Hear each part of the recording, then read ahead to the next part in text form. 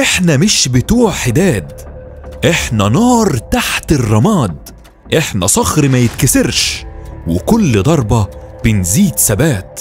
منسي حي ما يتنسيش. بعد أرضي خلاص مفيش منسي مية مليون يموتوا. والبلد دي ما تنحنيش. أيقونة حقيقية في القوة والشجاعة والإنسانية. وضمن أقوى مية قائد صاعقة على مستوى العالم. فخر لأمة لا تعرف الهزيمة أو الانكسار كان لا يشغله سوى شيء واحد وهو الوطن. الوطن اللي لا تعترف به جماعات الضلال والتخريب. أطلقوا عليه في القوات المسلحة لقب الأسطورة بفضل إنجازاته وأطلق عليه أعداؤه لقب الطاووس الأكبر بسبب استهدافه الدائم ليهم. دافع عن الوطن لآخر لحظة. وصام مقدساته وكتب مجدها الدائم بأحرف من ذهب على جدران هذا الوطن الأبي. كابوس الجماعات الإرهابية اللي اتحفرت حروفه من نور في أرض المعركة. الأسطورة أحمد المنسي اللي أصبح نشيد يردد في الصعقة المصرية. صديقي المشاهد لو عايز تعرف مين هو أحمد المنسي الشخص الذي لا ينسى وتكتشف بنفسك كان إزاي كابوس الجماعات التكفيرية وايه هي تفاصيل أكبر عملية إنزال قام بيها في سينا من بعد حرب أكتوبر وإزاي قدر إنه ينجح في تصفية أكتر من 380 إرهابي والقبض على أكتر من 120 تكفيري شديد الخطورة. يبقى لازم تكمل معانا الفيديو للنهاية. ولكن كالعادة قبل ما نبدأ حلقتنا ما تنسوش تعملوا لايك للفيديو واشتراك في القناة وتفعلوا زر الجرس علشان يوصل لكم كل جديد.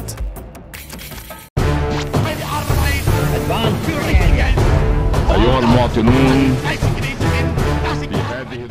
مبدئيا كده يا صديقي اتولد أحمد صابر علي المنسي بمركز منيا القمح التابع لمحافظة الشرقية في يوم 4 أكتوبر سنة 1978 منسي اتولد في عيلة بسيطة اتسمت بالأخلاق العالية وحب الخير لدرجة إن والده طبيب الأطفال صابر منسي كان بيعالج الأطفال في عيادته الخاصة بمقابل مادي رمزي جدا.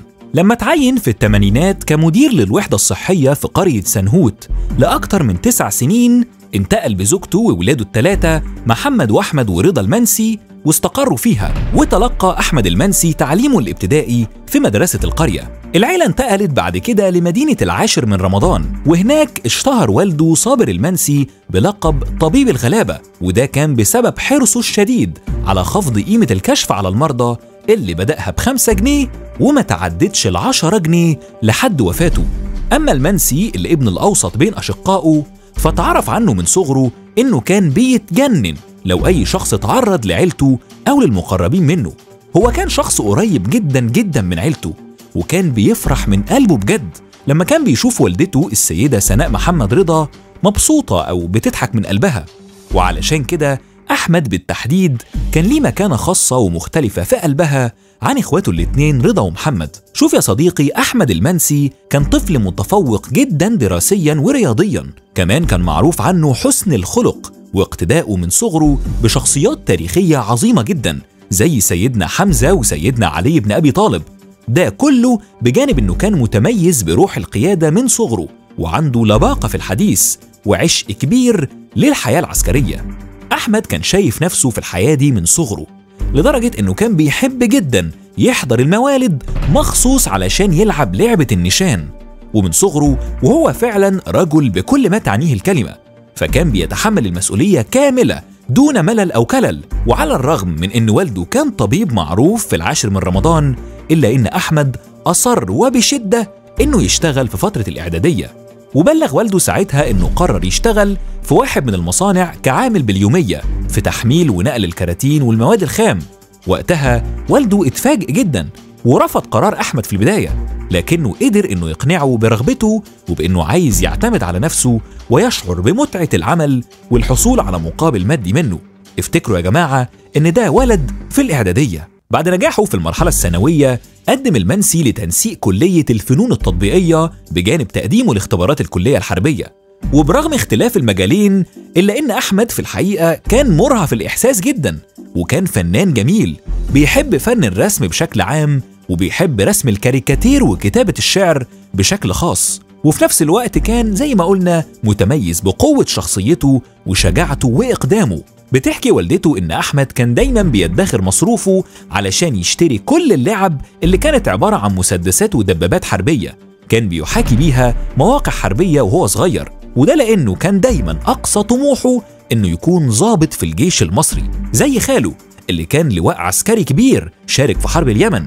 وبيتحكي عنه أساطير وبطولات وكانوا معتقدين لفترة طويلة إنه استشهد في اليمن واتفاجئوا بعودته بعد سنة من فقده. كان قريب جدا من قلب أحمد اللي في النهاية قدر فعلا إنه يحقق حلمه والتحق بالكلية الحربية اللي اتخرج منها سنة 1998 ضمن الدفعة 92 حربية واشتغل كظابط في وحدات الصاعقة وخدم لفترة طويلة في وحدة العمليات الخاصة الثلاث تسعات قتال المتخصصة في مكافحة الإرهاب واللي اتكلمنا عنها في حلقة قبل كده. شوف يا صديقي حياة المنسي كانت عبارة عن سلسلة طويلة وغير منتهية من البطولات والمواقف الإنسانية اللي عمرها ما اتنست. بحسب كلام العقيد محمد وديع اللي كان واحد من أصدقاء المنسي فأحمد المنسي اللي كان مقاتل شرس وقائد من الطراز الأول كان في نفس الوقت معروف بهدوء الطبع في تعامله مع الجميع وكرهه للعنف عموما. كان بيستخدم دايما العقل واللين والذكاء في التفاهم معاهم وبيكره جدا الصوت العالي. أما على المستوى الإنساني فأحمد المنسي كان دايما بيفكر في اللي حواليه ودايما شايل هم مشاكلهم. لدرجة إن كان عنده واحد من ضمن أصدقائه انتقلت والدته إلى رحمة الله فالمنسي من بعدها بقى بيلعب معاه دور الأم يعني كان بيكلمه باستمرار وبيشوفه بياكل إيه وبيشرب إيه كأنه ابنه. والمرة اللي صاحبه كان ما يردش على المنسي فيها كان فورا بيطلب من باقي أصدقائهم إنهم يروحوا معاه على بيته علشان يشوفوه ويطمنوا عليه. بيحكي صديقه وديع إن في مرة كان قدم مجموعة من زمايله الضباط استمارة للحصول على شقة ضمن وحدات سكنية ما كان تم الإعلان عنها في مدينة العاشر من رمضان. ولما اقترحوا الفكرة على المنسي قدم أوراقه معاهم في البداية لكنه قرر سحبها في اليوم التالي. وساعتها لما رفض التقديم قال ببساطة دي مش من حقنا دي للغلابة وإحنا عايشين كويس وعندنا شقق من الجيش. المهم يا صديقي إن في سنة 2001 تم اختيار المنسي وهو برتبة ملازم أول للحصول على فرقة ال SEAL. ضمن أكتر من ألف شخص التحقوا بالدفعة الأولى من ال SEAL في مصر وعلى الرغم من أن فرقة ال SEAL ما بتاخدش غير صفوة الصفوة والخلاصة من الجنود اللي بيتم إعدادهم بشكل مختلف باعتبارها فرقة شديدة الصعوبة وبتقوم على نمط معين من العمليات الخاصة إلا أن المنسي كان واحد من ضمن ال 37 ضابط بس اللي كملوا الفرقة وقدر إنه يحقق فيها ترتيب متميز تفوق بيه على المارينز الأمريكية. في سنة 2005 اتجوز المنسي من منار سليم اللي كانت من ضمن قرايبه بعد فترة خطوبة سنة وأربع شهور. كان مشغول جدا من بدايتها لأنه كان بيحصل على عدة دورات دراسية يجتاز بيها اختبارات باللغة الإنجليزية اللي كان لازم ينجح فيها علشان يسافر أمريكا ويحصل على فرقة السيل اللي هي فرقة قوات الصاعقه الأمريكية اللي بالمناسبة بينجح واحد من كل خمس أشخاص في الالتحاق بيها باعتبارها أقوى فرقة للقوات الخاصة على مستوى العالم كله. هي عبارة عن مجموعة تدريبات خاصة جدا وبيتقدم ليها المئات من الضباط اللي بيتعدوا ال 400 ضابط واللي بيجتازوها في النهاية لا يتعدوا ال 26 ضابط في مصر وأمريكا مع بعض لأنها بمنتهى البساطة من الفرق القوية جدا ولا يتخطاها إلا من يملك قدرات بدنية خاصة. وفي 2006 سافر المنسي على الولايات المتحدة الأمريكية لاستكمال باقي الاختبارات والتدريبات اللي هتأهله للحصول على الفرقة. وتعال أحكي لك على موقف صعب جدا حصل للمنسي في الاختبارات النهائية لفرقة السيل. قبل أربع أيام فقط من ميعاد اختبار القفز حصل للمنسي كسر إجهادي في قدمه من قسوة وكثرة التدريبات. وكان طبعا لازم يجتاز الاختبار النهائي وإلا هتضيع عليه الفرقة كلها. ومجهود الثمان شهور اللي قضاها في التدريب في أمريكا. وطبعا مش محتاج أقول لك إن عملية التجبيس كانت هتمنعه من ارتداء الحذاء الرياضي للقفز فقرر إنه يربط قدمه برباط ضاغط ويلبس فوقيها أكتر من شراب تقيل. وفي النهاية اجتاز الاختبار بالفعل وهو بيبكي بالدموع مع كل قفزة على قدمه. لكنه اتحمل صعوبة الألم وحصل على الفرقة في النهاية. مش بس كده ده كمان اختاروا الأمريكان إنه يكون قائد عليهم رغم إنه مسلم. وهنا بيقول الرائد محمد وديع إن منسي في البداية واجهته عدة صعوبات للحصول على فرقة السيل من أمريكا. أولها وأبرزها يعني التمييز العنصري ضد العرب. فوجد عدة عراقيل من المعلمين بالفرقة اللي كانوا مجملا ضده لأنه عربي ومسلم. كمان لأن أغلبهم كان جاي ساعتها من أفغانستان وكانوا من ضمن المصابين في الحروب ضد المسلمين. فاعتبروا منسي عدو مباشر ليهم. أرسلته دولته للتدريب عندهم. ومن المواقف اللي قابلته هناك إن كان في واحد من المحاضرين بيلقي محاضرة. أساء وهو بيلقي المحاضرة للمسلمين ووصفهم بالإرهابيين ووصل بيه الأمر إنه حتى سب القرآن. التصرف ده للأسف كان في وجود مجموعة المتدربين اللي كان من ضمنهم طبعا مسلمين ومن دول عربية وآسيوية. ولكن مفيش واحد منهم رد على كلام الشخص ده بكلمة واحدة إلا طبعا المنسي. هو الوحيد اللي قام واعترض على إهانة المحاضر وكانت مشكلة كبيرة جدا لدرجة إنها كانت هتتسبب في تركه للفرقة وعودته للقاهرة من غير ما يحصل على الفرقة لدرجة إنه ساعتها اتصل بزوجته ووالده ووالدته وإخواته الاتنين علشان يستشير كل واحد منهم على حدة وياخد رأيهم هل يرجع القاهرة ويترك الفرقة ولا يعدي الموقف ويكمل تدريباته لحد ما يجتازها. قراره النهائي كان إنه يكمل تدريباته وعلى الرغم من محاولاتهم لإحداث وقيعه بينه وبين زملائه داخل الفرقة إلا إن المنسي استطاع بشخصيته إنه ينال إعجاب زمايله بحسن تعامله ومواقفه الإنسانية واخلاقياته الراقيه معاهم في الفرقة خصوصا بعد ما ساعد في إنقاذ حياة شخصيات كتير أثناء التدريبات رغم احتمالية تعرضه هو للمخاطر لدرجة إنهم بقوا يختاروه كقائد ليهم وقت تقسيم المجموعات أثناء التدريب. وبشطارته وصل الأمريكان إنهم يقولوا له أنت القائد بتاعنا في المهمة. فمرة من المرات كان في واحد من المتدربين اللي معاه اصطدم بكتلة صخرية أثناء التدريبات. أدت لفقدان وعيه في منطقة خطيرة جدا بالمحيط. كانت منطقة عميقة جدا وفيها دوامات وفي وسط خوف باقي المتدربين لا يتعرضوا للغرق من محاولة إنقاذ زميلهم قدر أحمد المنسي إنه ينقذ زميله من الغرق فأصبح ساعتها قدوة ليهم بشكل عام وبقوا يضربوا بيه المثل في الشجاعة بشكل خاص وفي نهاية الفرقة كان نال ود كل الشخصيات هناك لدرجة إنهم أقاموا ليه حفلة كبيرة تكريما ليه قبل عودته وتقديرا للمواقف الإنسانية اللي بدرت منه. بعد رجوعه من أمريكا في 2007 التحق بالخدمة في منطقة أنشاص في محافظة الشرقية واشتغل كمدرس في مدرسة الصعقة. وكان دايما بيقول للجنود أنتم دلوقتي في فترة خدمتكم في الصعقة. يعني ترموا اتجاهكم السياسي ورا ظهركم. اتجاهكم الأساسي هو لله. تحمي وطنك وبس. ولما كان بيحب يحفز جنوده في ميدان الرماية كان بيقول لهم دايما في الرماية علشان ترمي كويس تخيل إن الشكل ده تكفيري جاي يضرك ويضر وطنك وأهلك هل هتسيبه؟ وفي 2009 وبعد ولادة ابنه حمزة بشهرين التحق المنسي لمدة سنة ببعثة الملحقين والوحدة ثلاث تسعات العسكريين وكان ملتحق كمساعد للملحق العسكري لدولة باكستان بعدها استكمل خدمته بين مدرسة الصعقة والوحدة ثلاث تسعات لحد ما جت أحداث ثورة 25 يناير. في الفترة دي كان التحق بمعسكر مع زملائه لعمل بروفات على عروض تخرج دفعات الطلاب بالكلية الحربية قبل شهر من موعدها. وكانوا بيقوموا بالتدريب على العروض دي مرتين أول وآخر اليوم. المنسي كان دايما بينصح الجنود ويقول لهم أنا قعدت 112 أسبوع فدائي. مجموع عدد أسابيع فرقة الصعقة الراقية اللي هي سيل مصر رقم واحد وسيل أمريكا رقم 258 وعمري ما صليت وأنا قاعد. وأوعى في يوم من الأيام تستخسر صحتك في ربنا طالما عايش وفيك نفس. حتى وأنت تعبان تعال على نفسك علشان ربنا وعلشان ربنا يقف معاك دايما سواء كنت كويس أو تعبان. الغريب إن المنسي كان متعود إنه يغيب عن زمايله لفترة طويلة ممكن توصل لثلاث ساعات تقريبا.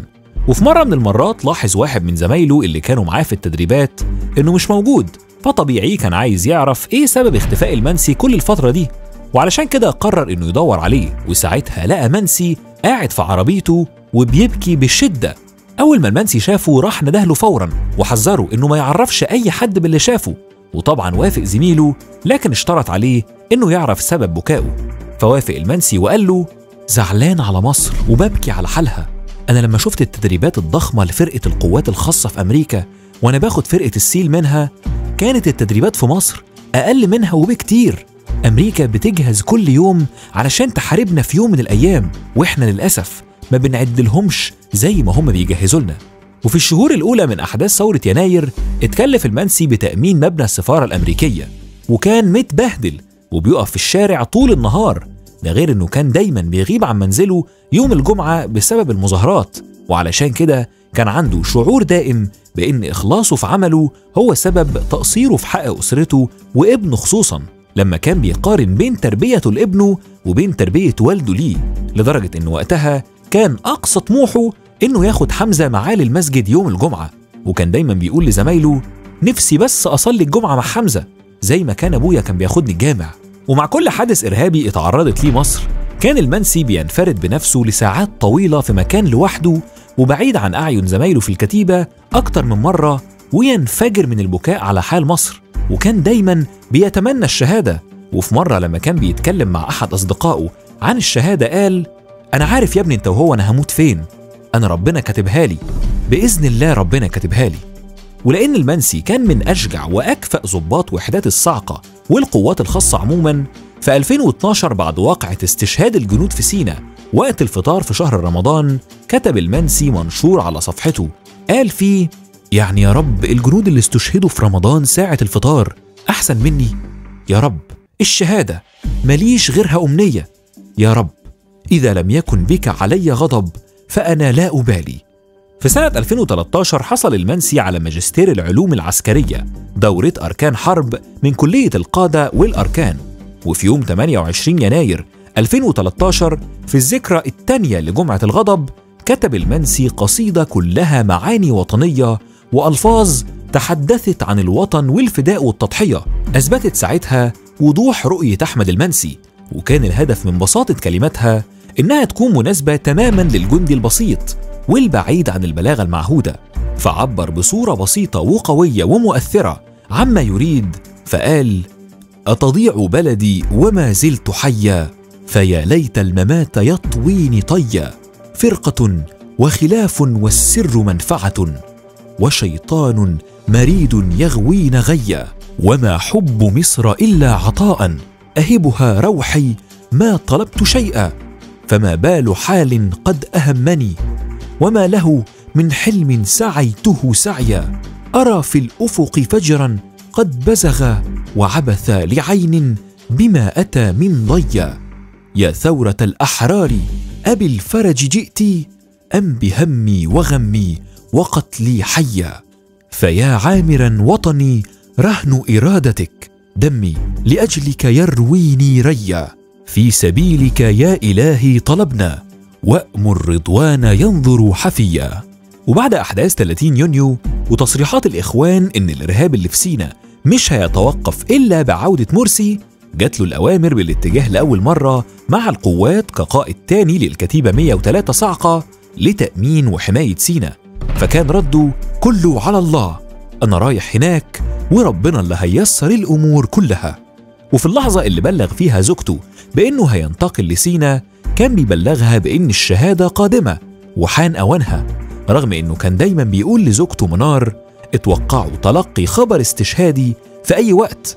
كانت بتعبر له عن حجم خوفها وقلقها الشديد عليه لكن هو كان دايما بيستنكر مشاعرها ويقطع كلامها ويقول لها انت بتقولي إيه؟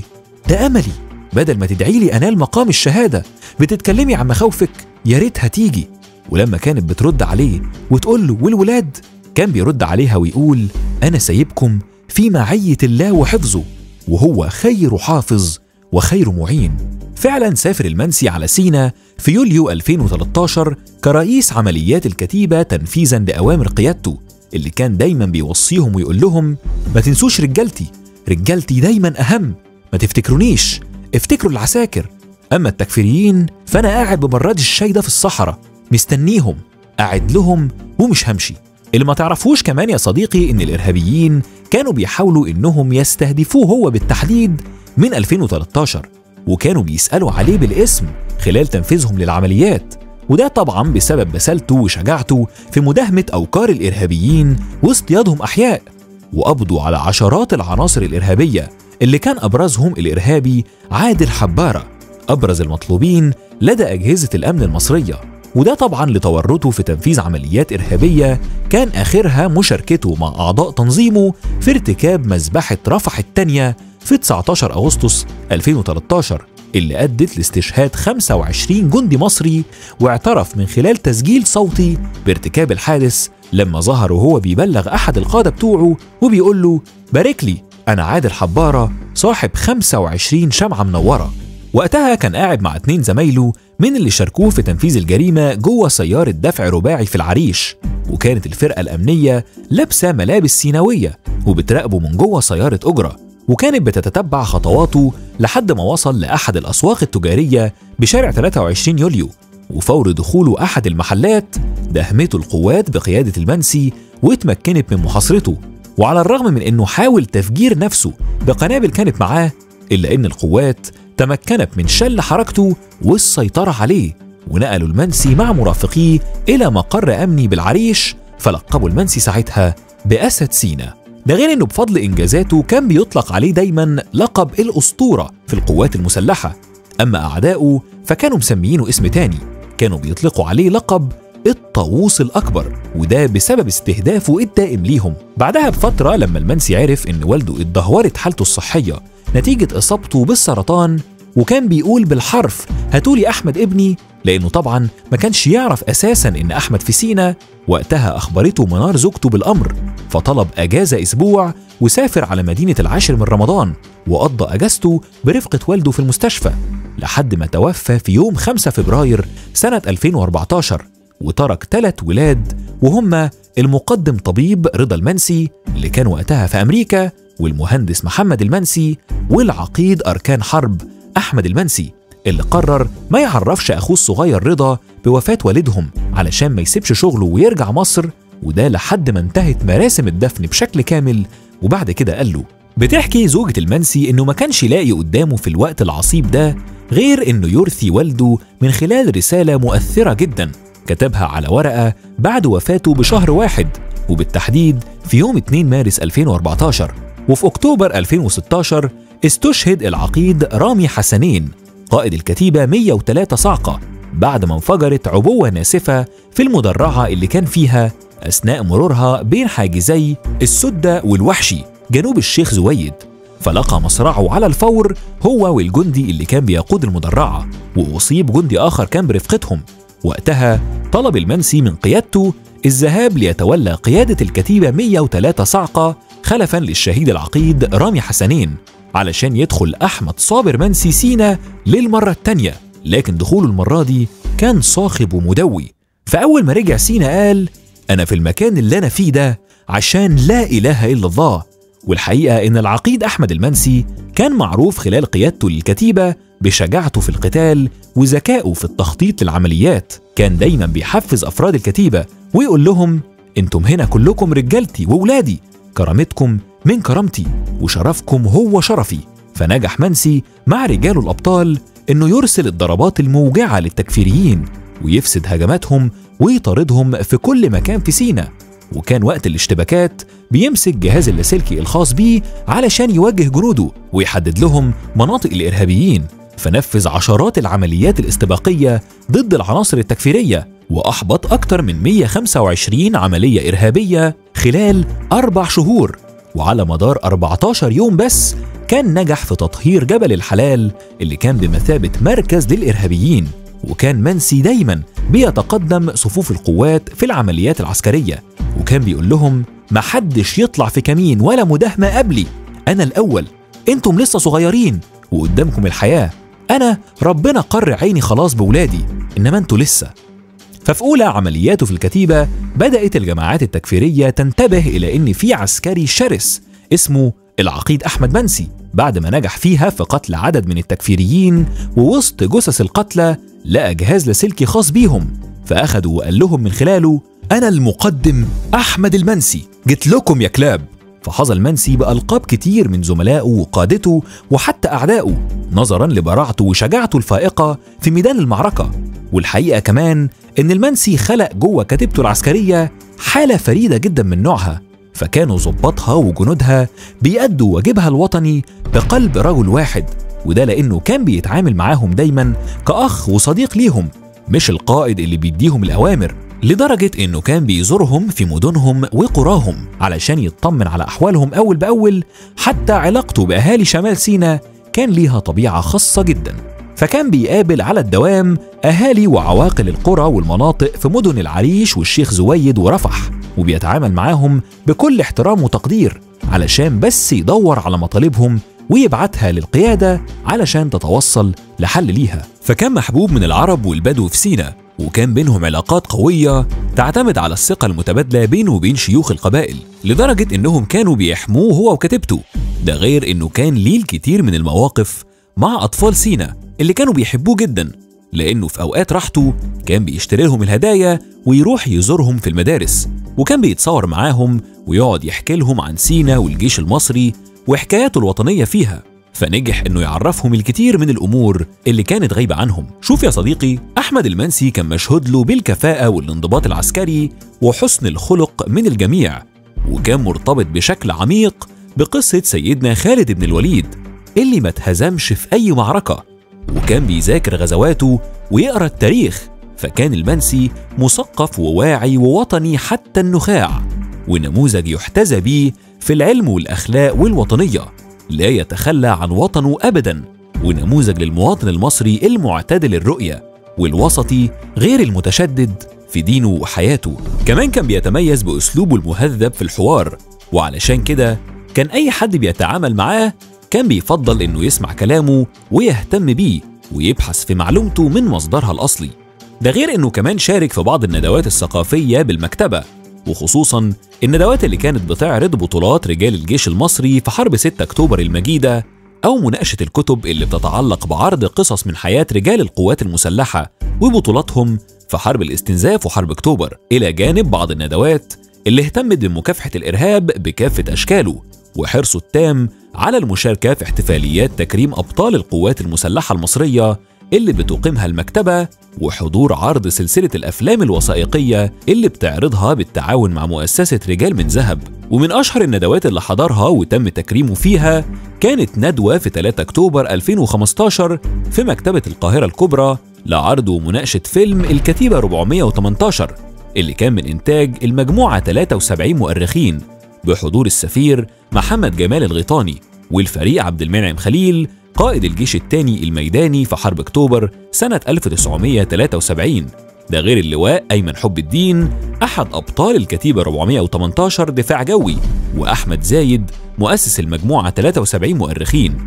وفي يوليو 2016 حضر احتفالية قطاع شؤون الإنتاج الثقافي بمناسبة مرور 60 سنة على تأميم قناة السويس بحضور كوكبة من رجال القوات المسلحة المصرية ولما صدرت الأوامر للعقيد أركان حرب أحمد منسي بالتوجه إلى رفح لقطع الإمدادات واللوجستيات على العناصر الإرهابية والتكفيرية راح منسي ورفاقه كالعادة لتنفيذ مهمتهم واختاروا من أحد المواقع في منطقة البرس نقطة تمركز وانطلاق ليهم باعتبارها من المناطق الاستراتيجية في مدينة رفح وبتتركز طبيعة مهامها على قطع الدعم اللوجستي عن العناصر الإرهابية والتكفيرية وبيعيش فيها قبائل الترابين والسواركة والرميلات. وفي تمام الرابعة فجر يوم 7 يوليو 2017 بدأ الهجوم بواسطة 150 مقاتل و12 عربة كروز محملة بالسلاح بالإضافة إلى أسلحة خفيفة ومتوسطة وقذائف آر بي جي وقذائف هاون ومدافع جرينوف وقنابل يدوية ومفخخات.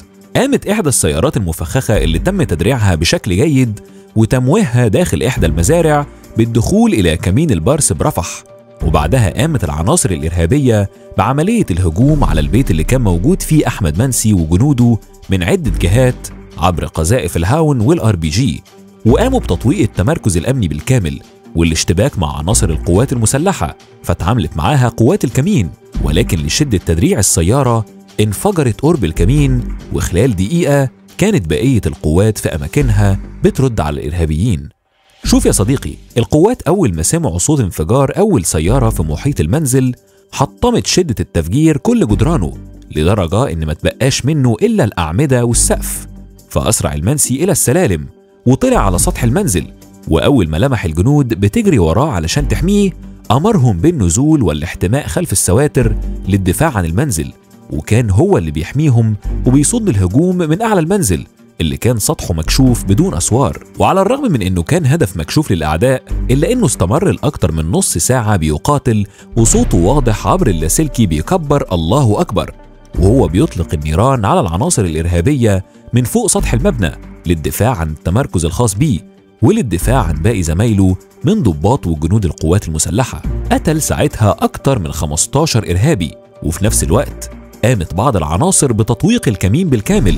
وزرع عدد من الألغام لصد محاولات الدعم البري وقامت عناصر الكتيبة بصد الهجوم وتبادل إطلاق النار وتمكنت من الصمود طوال أربع ساعات.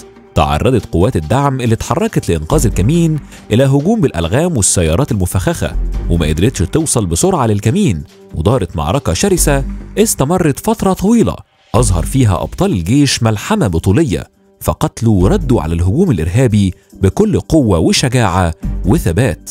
بعد مرور أربع ساعات كانت وصلت قوات الدعم الجوي لأبطال الكتيبة 103 صاعقة بمنطقة البارس في رفح وقامت بقصف العناصر وده دفعهم للتراجع والهروب. وأثناء مجيء قوة الدعم تم قتل عشرات التكفيريين على إيد الشهيد العقيد أركان حرب أحمد بنسي وأبطاله من ضباط وجنود القوات المسلحة. وعلى مدار نحو أربع ساعات متواصلة من الصمود بعد محاصرة العناصر التكفيرية للموقع بهدف منع وصول الإمدادات عبر الألغام والسيارات المفخخة. شديدة التدريع أظهر الضباط والجنود المصريين الصلابة اللي حرمت العناصر الإرهابية من السيطرة على الموقع أو أسر أي من العسكريين. ومن وقت إبلاغ قائد الكتيبة المقدم أركان حرب أحمد صابر منسي قيادة الجيش بتعرض الموقع للهجوم وحتى وصول الدعم الجوي واصل العسكريون المصريون الدفاع عن الموقع واصطياد العديد من العناصر الإرهابية. ومع وصول مقاتلات سلاح الجو المصري بدأت في قصف العناصر الإرهابية واصطيادهم لحد ما قدرت إنها توقع أكتر من 40 قتيل في صفوف العناصر الإرهابية. وهنا يا صديقي كانت أوامر المنسي لجنوده خلال المعركة إنهم يحموا بعض ومحدش منهم يسيب جثة زميله تحت أي ظرف علشان ما تتعرضش للتمثيل على إيد العناصر الإرهابية. فكان غالبية اللي استشهدوا في المعركة كانوا قابضين على أسلحتهم أو داخل معداتهم العسكرية. وما قدرتش العناصر الإرهابية إنها تحمل ولو جثة واحدة لأي من الأبطال. وفروا هاربين تاركين جثث زملائهم التكفيريين اللي تم اصطيادهم في المعركة. فكانت الكلمات الأخيرة اللي قالها العقيد أحمد المنسي قبل استشهاده بعد ما أطلق عليه واحد من العناصر الإرهابية رصاصة في عنقه وهو على سطح المنزل الله أكبر لكل أبطال شمال سينا قد تكون هذه آخر دقائق حياتي. وقال المنسي في التسجيل إن هو وأربع جنود غيره كانوا هم اللي على قيد الحياة بعد ما قتل المسلحون باقي أفراد الجيش في نقطة التفتيش. وأمام بسالة الجنود المصريين فشلت العناصر الإرهابية في تحقيق هدفهم من الهجوم. وهو احتلال التمركز الأمني وتدميره بالكامل ورفع علم داعش لتحقيق انتصار نوعي. والحقيقة إن ملحمة كمين البرس اللي استشهد وأصيب فيها 26 فرد من القوات المسلحة المصرية عند صد الهجوم الإرهابي فهي ملحمة تاريخية من ضمن قصص بطولات القوات المسلحة المصرية اللي بتشير إلى إن الدفاع عن أرض الوطن هو دين على كل مصري وكل مواطن حر. وإن اللي قدمه منسي ورفاقه الأبطال اللي ضحوا بأرواحهم فداء للوطن دليل على ذلك. وإلى جانب استشهاد البطل عقيد أركان حرب أحمد صابر محمد علي المنسي سقطت مجموعة شهداء من الكتيبة 103 صعقة وهم البطل نقيب أحمد عمر الشبراوي ابن قرية الشبراوين بمحافظة الشرقية وكان صديق مقرب للعقيد أحمد صابر منسي. وهو في ستة ابتدائي كان بيتمنى يموت شهيد فكان بيقول نفسي لما أموت أدفن بالملابس اللي مت بيها وأتمنى أكون لابس أفرول نظيف ولما اتخرج من الكلية الحربية سنة 2007 ضمن الدفعة 101 عمل في رفح لحد سنة 2010 وبعدها التحق بالفرقة ثلاث سبعات بالصاعقة المصرية. فحصل على فرقة مكافحة الإرهاب من إيطاليا وانتقل مرة تانية للعمل في رفح حتى استشهاده. اتقال عنه إنه خلال ملحمة البارس كان شجاع وباسل جدا. كان بيتقدم زملائه كلما سبقوا أحدهم في القتال علشان يخليهم وراه من خوفه عليهم. وبيقول واحد من الجنود إنه أول ما تلقى رصاصة خلال الهجوم في القميص الواقي جري عليه الشهيد الشبراوي فورا علشان يبعده عن مرمى النيران ويصاب. لكنه أكمل واستمر في توجيه الجنود خلال الهجوم لحد ما أصيب للمرة التانية اللي استشهد فيها. استشهد كمان معاه البطل ملازم أول أحمد محمد محمود حسنين البالغ من العمر 23 سنة واللي اتخرج من الكلية الحربية في 2016 كان شديد التفوق في الرماية. وفي أغسطس من نفس السنة التحق بالخدمة العسكرية في شمال سيناء كأحد أفراد الصاعقة بناء على طلب شخصي منه. أصر حسنين على إنه يخرج في المداهمات مع قائده العقيد منسي اللي فضل إنه ما يشاركش فيها لأنه لسه مبتدئ.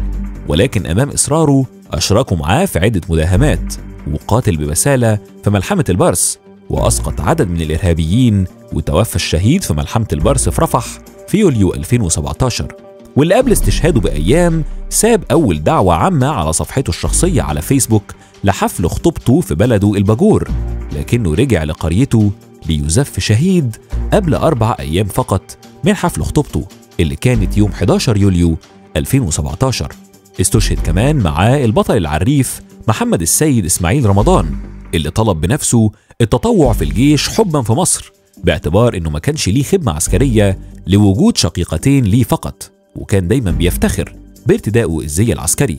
أما الشهيد البطل جندي علي علي علي السيد إبراهيم اللي كان مثال في التضحية دفاعا عن زملائه اللي على الرغم من صغر سنه إلا إنه قدم نفسه فداء لزملائه دون تردد. وهنا بيحكي الملازم أول أحمد فهيم فايد الضابط بالقوات الخاصة قصة استشهاد الجندي علي علي وبيقول إنه كان في خضم القتال مع التكفيريين. وأول ما شاف مدفع رشاش متعدد الطلقات في إيد واحد من التكفيريين هيفرغوا على جنود الكتيبة اتقدم علي وتصدى بظهره لفوهة المدفع عشان يتلقى ما يزيد على 30 رصاصة في جسده ويفدي بيها زمايله. غيرهم كان البطل عريف محمد السيد إسماعيل رمضان والبطل جندي محمود رجب السيد فتاح والبطل جندي محمد صلاح الدين جاد عرفات والبطل جندي محمد عزت إبراهيم إبراهيم والبطل جندي مؤمن رزق أبو اليزيد والبطل جندي فراج محمد محمود أحمد والبطل سائق عماد أمير رشدي يعقوب والبطل جندي محمد محمود محسن البطل جندي أحمد محمد علي نجم والبطل جندي علي حسن محمد الطوخي والبطل جندي محمود صبري محمد ومن قوات المدفعية البطل النقيب محمد صلاح محمد. أما شهداء الكتيبة 83 صعقة فكان أولهم البطل ملازم أول خالد محمد كمال المغربي الشهير بدبابة اللي كان اسمه بيزلزل التكفيريين أول ما يسمعوا بوجوده بين القوات اللي هيواجهوها. والحقيقة إن لقب دبابة ده ما كانش إلا إقرار من الإرهابيين نفسهم قبل زملائه بشراسته في المعارك وإن مفيش حاجة بتقف قدامه لقوته وشجاعته بدليل اعترافات بعض الإرهابيين المقبوض عليهم اللي قالوا إنهم كانوا هياخدوا جايزة قيمتها 3 ملايين جنيه قصاد راس الملازم أول خالد محمد كمال المغربي. بتقول زوجته إنه كان تحت التهديد الدائم من التكفيريين وإنهم تلقوا رسالة تهديد من أحد التكفيريين بعد زواجهم مباشرة بإنهم عارفين مكانهم كإشارة منهم بإنهم قادرين يوصلوا له في أي وقت. خالد مغربي كان ضمن الكتيبة 83 صعقة اللي خرج على رأس قوة دعم لزملائه في الكتيبة 103 وبيحكي والده تفاصيل استشهاده وبيقول إن الشهيد خالد أنهى صلاة الفجر داخل كتيبته وجهز معداته وأشياءه علشان يسيب كتيبته. بناء على نشرة بانتقاله لقوات الصاعقة في اسكندرية. وفي نفس اللحظة جاله اتصال من أحد الضباط بكمين مربع البارس برفح يفيد بتعرضهم لهجوم إرهابي عشان يهتف خالد مع جنوده حي على الشهادة. وخلال دقايق معدودة شكل قوات الدعم اللي كانت مكونة من مدرعتين ودبابة وعربي التشويش وخرجوا لنجدة زملائهم. وقبل وصولهم لموقع الاشتباكات ب 700 متر لمح الشهيد عربة بداخل إحدى العشش على جانب الطريق. فبدأ التعامل معاها فانفجرت وكانت معدة بمتفجرات لتعطيل وصول الدعم وعلى بعد 400 متر أطلق القناصة وابل من النيران وقذائف الار بي جي على المدرعة وتعامل الشهيد معاهم من داخل المدرعة وقدر يقتل كتير منهم إلا إن الجبناء اللي بيخافوا من المواجهة كالعادة دفعوا بسيارة دفع رباعي بيقودها انتحاري فيها متفجرات من جانب الطريق عشان تصطدم بالمدرعة وتنفجر. ويستشهد خالد مغربي على إثرها. استشهد معاه البطل جندي محمد محمود فرج والبطل جندي أحمد العربي مصطفى والبطل مندوب مدني صبري. وتم توديع البطل أحمد المنسي في جنازة عسكرية مهيبة من مسجد المشير طنطاوي والدفن في مقابر الأسرة بالروبيكي. كما عمل بوصيته فلم يغسل أو يكفن ودفن بملابسه. وبكده تكون خلصت حلقتنا. هستنى رأيكم كالعادة في التعليقات. وما تنسوش تقولوا لي عاوزين مواضيع إيه تانية نعرضها في القناة. ما تنسوش كمان تشوفوا المواضيع اللي فاتت وتستنوا المواضيع اللي جاية. وتعملوا لايك للفيديو واشتراك للقناة وتفعلوا زر الجرس علشان يوصل لكم كل جديد. أشوفكم الحلقة الجاية. سلام.